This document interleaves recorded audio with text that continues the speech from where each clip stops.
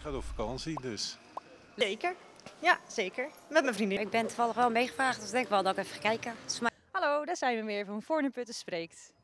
Aanstaande 25, 26 en 27 augustus is het weer zover. Het jaarlijkse Spijkenissenfestival, waar weer diverse activiteiten worden gehouden en diverse optredens.